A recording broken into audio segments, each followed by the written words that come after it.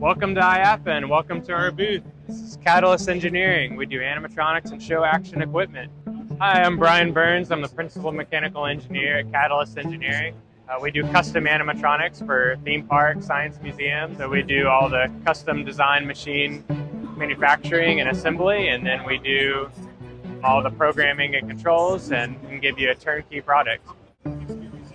Hey, I'm Rebecca Burns. I'm operations manager for Catalyst Engineering. And I'm Hayden Price. I'm a mechanical engineer for Catalyst Engineering. We're at IAAPA 2023 in Orlando, Florida. Anyone who's anyone in the themed entertainment industry is going to be here at IAAPA. Yeah. This is Proteus. This is our configurable humanoid platform.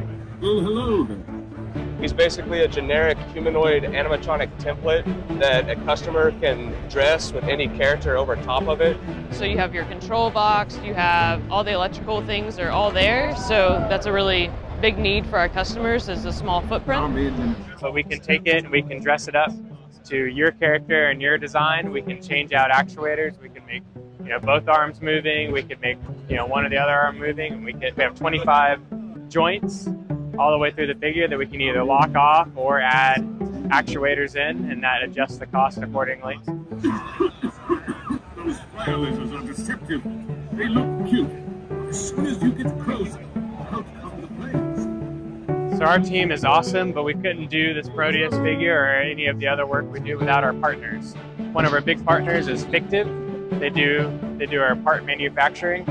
Um, these are early iterations of, of parts that are in this figure behind me. This one's machined 7075 T6 aluminum. So we have this clevis here that had a very specific tolerance. We have key inserts, four of them in this part in particular that Fictiv installed. Um, the finish on this part is a clear anodized. This one also has a clevis in it, so it has a specific tolerance we needed to hit between for the width of the clevis. And then also a specific tolerance we needed to hit for this pocket here because it fits over um, an actuator. But these parts um, we get from Fictiv are cost effective, they're, they're to spec, and they're really fun to work with.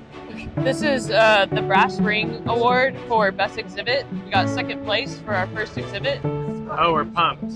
Yeah, I might have shed a tear when we were awarded. like everything else, you know, we can't do it without our partners.